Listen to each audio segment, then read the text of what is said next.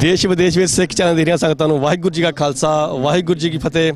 ਬੜੀ ਖੁਸ਼ੀ ਵਾਲੀ ਗੱਲ ਹੈ ਕਿ ਅਸੀਂ ਅੱਜ ਪਿੰਡ ਸੰਗਰਕੋਟ ਦੇ ਵਿੱਚ ਪਹੁੰਚੇ ਹੈ ਕਿ ਪਹੁੰਚੇ ਹੋਏ ਆ ਇਹ ਪਿੰਡ ਜਿਹੜਾ ਸੰਗਰਕੋਟ ਆ, ਇਹ ਮਾਤਾ ਖੀਵੀ ਜੀ ਦਾ ਜਿਹੜਾ ਵਾ ਪੇਕਾ ਘਰ ਆ, ਪੇਕਾ ਪਿੰਡ ਆ।